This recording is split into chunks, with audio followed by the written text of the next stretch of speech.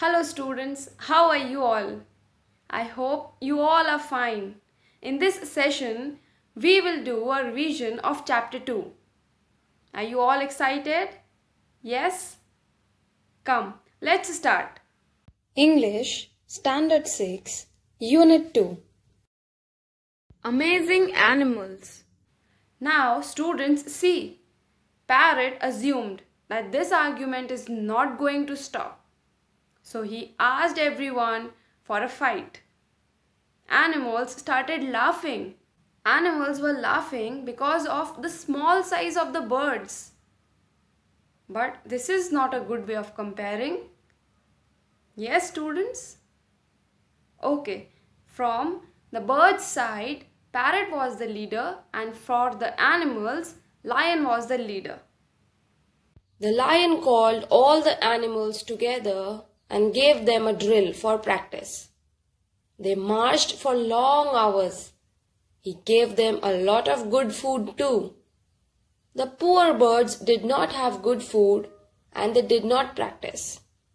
Instead, they had a meeting with their friends, the insects. Students, drill means training. So, the lion gave all the animals training and instructions. They did a lot of practice. Also, nutritious food was provided to the animals. Whereas on other hand, birds were determined. But they were not having good food or any practice techniques.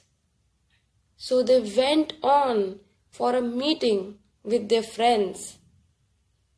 And who were the friends? They were insects. Are you all ready? The lion asked. Yes, we are ready. They all shouted. We are ready to go to the battlefield. Then listen carefully, said the lion. The lion whispered, I have a plan. Captain Fox, you have a nice long tail. You will be my signal. On the battlefield, I shall whisper in your ear when it is time to fight. You will put up your long tail to signal all the animals to attack the birds. Is that clear? Very clear, sir, said the fox.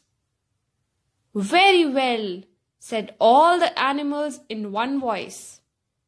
The fly hurried to tell the parrot the lion's secret plan. Lion finally asked everyone whether they were ready for the battlefield or not. Everyone replied that they were ready. Fox was the captain and the captain was supposed to give the signal to everyone when it is the time to attack. Fly heard everything and quickly went back to the parrot. Students, why was Fox the captain? Because Fox had a nice long tail, which was going to be the signal. The bee stung the fox. He stung him once, he stung him twice. He stung him three times. Oh God, now the fox was badly injured. He forgot all the signals and he went away from the battlefield. All the animals they were confused. They started running behind the fox. At last, birds won. Students, what do you think now? That physical power is important or the smartness is important? Now, let us learn something interesting. There are many amazing animals in the world, but many animals are in danger of extinction. When animals are extinct, they no longer exist on earth. Animals that are in danger of becoming extinct are called endangered animals. Some of these endangered animals live in India. One is called the Indian purple frog and it is very rare. The purple frog lives in India's western Ghats. This unusual place has mountains, forests, savannas, peat bogs and freshwater wetlands. As you can see in this picture, there is a frog and this frog is known as Indian purple frog. Now, this frog is endangered. What is endangered, students? Students, as we all know, there are many beautiful animals and birds, but few of them are endangered, which means we are not sure about their future survival. They are in a very dangerous situation. Other than that, there are few animals which are extinct. That means they are no longer on this earth. The frog is purple in color. It has dark black eyes. And what more? Let us now see few more features. The frog has fat body. It is short with stout limbs. It has shovel shaped bump, webbed feet, round tongue. There are no teeth. It has smooth skin, light brown tail and narrow mouth. Come, let's have some fun with this refreshing poem at the zoo by A. A. Milne. The poem is full of excitement, life and energy. Isn't it students? Little kids repeat themselves again and again whenever they are excited. They never stop talking in front of their parents and guardians. Similarly, in the poem, the child is excited about the elephant. So, he tells again and again that he only gave buns to the elephant. There are lions and roaring tigers and enormous camels and things.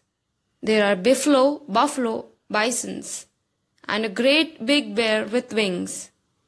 There is a sort of tiny potamus and a tiny rhinoceros too, but I gave buns to the elephant when I went down to the zoo. There are badgers and bidgers and bodgers and a superintendent's house.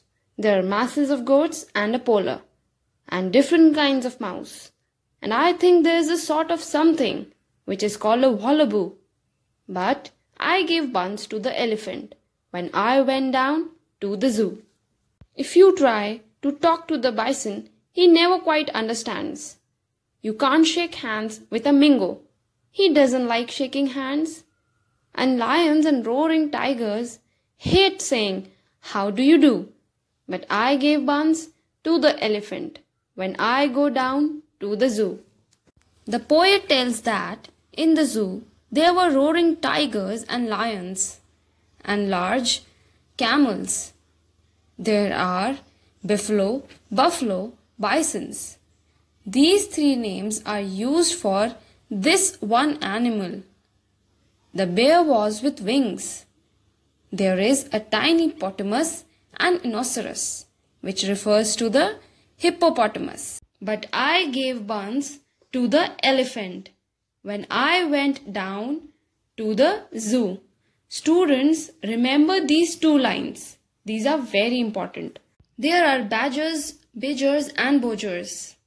Again, this beautiful animal is given three names by the poet.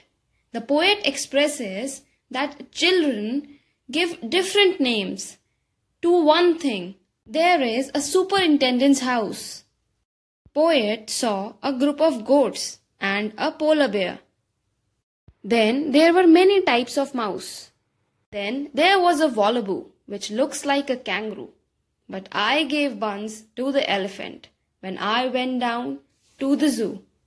Poet tries talking to the bison also, but the bison is not able to understand anything. Then, poet informs us very innocently about the mingo fish. It doesn't likes to shake hand. Lion and roaring tigers hates greeting people. But I gave buns to the elephant when I went down to the zoo. I hope students you have enjoyed the fighting animals, the purple frog and this poem. I am sure that you will revise it properly. Till then students, take care. Bye-bye.